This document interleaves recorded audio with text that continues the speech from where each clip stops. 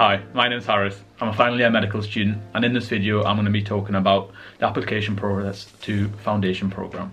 The foundation program is the name of the two years you do as a junior doctor once you've qualified for medical school, so F1 and F2. And in this video I'm going to be talking about the whole application process and it's more aimed for final years but obviously anyone watching this can get information from this. So the foundation program application is split into two parts. The first part is called the EPM and this is scored out of 50. Each part is scored out of 50. The EPM is a measure of your, think of it like your academic performance. So your results at medical school, what decile you're ranking, and any previous degrees if you're smart enough for that. And on top of that, any publications you might have had through research, audits, anything extra you've done at medical school. And you get a number out of 50 for that. The second part is something called the SJT, the Situational Judgment Test. This is the other 50 marks, and this is a psychometric test. So this is a national test sat by all final year medical students. You'll either sit it in November or January, and this national exam is 70 questions, about two and a half hours, and it tests how you would respond in certain situations. So this exam split into two types of questions. The first type of question is a ranking question where you're given a scenario and then you rank the answers from the most appropriate to the least appropriate out of five. The other type of question you can expect is choose three best out of these answers. So you're gonna get a scenario, eight answers, and you pick the three most appropriate answers.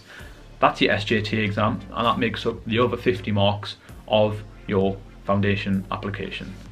When you get to final year, you're also going to have to consider an exam called the Prescribing Safety Assessment, also known as the PSA. Again, this is a national exam that all medical students sit and it's accredited by the GMC and this exam tests your prescribing skills to a safe level of that expected of a junior doctor. Now depending on what medical school you go to, the PSA can be a very important exam or not. Essentially you have to pass the PSA to be able to prescribe as a junior doctor However, some universities you're allowed to fail the exam and resit when you become or qualify as a junior doctor, whereas others, if you fail the exam, then you're not allowed to proceed or it's very difficult to proceed on to qualification. So check with your medical school, it'll change, but typically the exam is necessary to pass if you want to prescribe. So you've done the PSA, you've done your SJT, and you've got your EPM. So now you've got your ranking score this is a score that you're given out of 100 and all final year medical students are given this. With the score, you're going to pick what region you want and in that particular region, you're going to pick what hospitals and rotations. For example, Hospital X, you might want to do cardiology, surgery and GP. And in second year, you might want to do pediatrics, psychiatry and hematology. So you put that as your top ranking if you want that. You do this until all the rankings are done. Now, this year, the year I'm applying, there's 380 rankings, so you're probably going to spend a lot of time. So people tend to do as many as they can cope with before they get bored. So you can do 100, 200. The better score you have, the higher chance you're going to have of getting your top marks. So essentially, the higher marks you've got, the more confident you can be of getting a higher ranking. The lower score, the more important it is to rank as far down as you can. But essentially you're going to have a list of your rankings from your most preference right down to the bottom. And this includes your hospitals and what rotations you're on. Important to think here is locations of hospital, what career you're thinking of going into next, so what do I want a taster of an experience. Thinking about what are the hours of working like.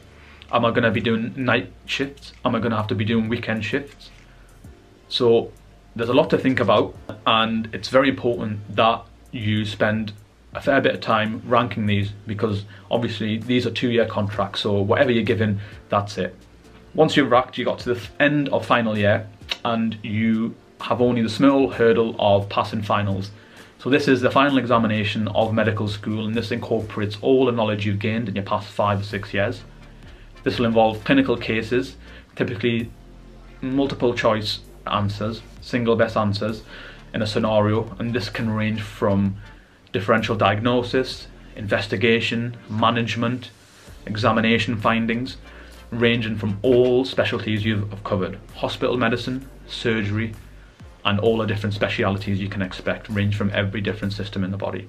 Following the application for your EPM around March, you get your allocation rankings, and then come April, you're given which hospitals you're going to be working at. After that, you've got a small task of doing finals, and that's it, easy done. You've final year, and you're going to be starting as a junior doctor.